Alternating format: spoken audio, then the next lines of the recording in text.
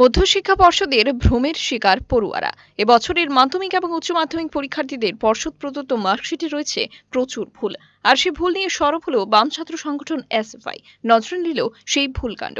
দাবি তুলেছে দ্রুত সংশোধনী সেরে চূড়ান্ত মার্কশিট ছাত্রছাত্রীদের হাতে তুলে দেওয়ার জন্য। ত্রিপুরা মধ্যশিক্ষা পর্ষদ পরিচালিত চলতি বছরের মাধ্যমিক উচ্চ মাধ্যমিক পরীক্ষার ফলাফল ঘোষণার পর যে মার্কশিট ছাত্রছাত্রীদের হাতে তুলে দেওয়া হয়েছিল, তাতে প্রচুর ভুলে ভরা রয়েছে বলে অভিযোগ উঠেছে। পরীক্ষার্থীদের মধ্যে তা নিয়ে দেখা দিয়েছে এক চরম বিভ্রান্তি। ফলে বিভ্রান্তি দ্রুত সারিয়ে নিতে পর্ষদের দৃষ্টি আকর্ষণ করতে চেয়েছে বাম ছাত্র সংগঠন এসএফআই। শুক্রবার সংগঠনের রাজ্য সম্পাদক সন্দীপন দেবের নেতৃত্বে এক প্রতিনিধি দল দেখা করেন মধ্যশিক্ষা পর্ষদের সচিবের সঙ্গে। তাদের ওই অভিযোগ নিয়ে সচিবের সঙ্গে বিস্তারিত আলোচনা করেন তারা। পর্ষদ সচিবের কাছে দাবি জানানো হয়েছে, পর্ষদের এই বিভ্রান্তিকর ভুলের কারণে যেন পরীক্ষার্থীদের উচ্চশিক্ষা গ্রহণ করার ক্ষেত্রে কোনো অসুবিধার মুখে পড়তে না হয়। তার জন্য দ্রুত কার্যকরী ভূমিকা নিতে হবে পর্ষদকে। টিএসইউর তরফে ত্রিপুরা মধ্যশিক্ষা পর্ষদের মাননীয় সচিবের কাছে ডেপুটেশন দিতে এসছি। দু সালের মাধ্যমিক, উচ্চ মাধ্যমিকের ফলাফল প্রকাশিত হয়েছে।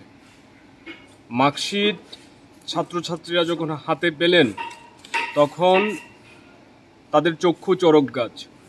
বিভিন্ন ভুল ত্রুটি এই মার্কশিটের মধ্যে রয়েছে। রেজিস্ট্রেশন নম্বর থেকে শুরু করে বিভিন্ন ধরনের ভুল ছাত্রছাত্রীরা দেখতে পাচ্ছেন এবং এতে সাধারণ ছাত্রছাত্রীরা সমস্যায় পড়েছে।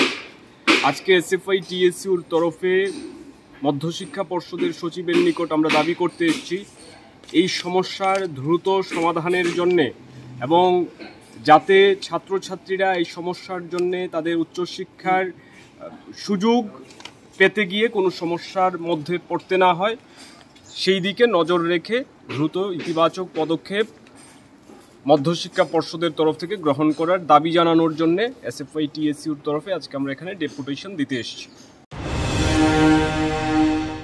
Bureau report, search India TNN.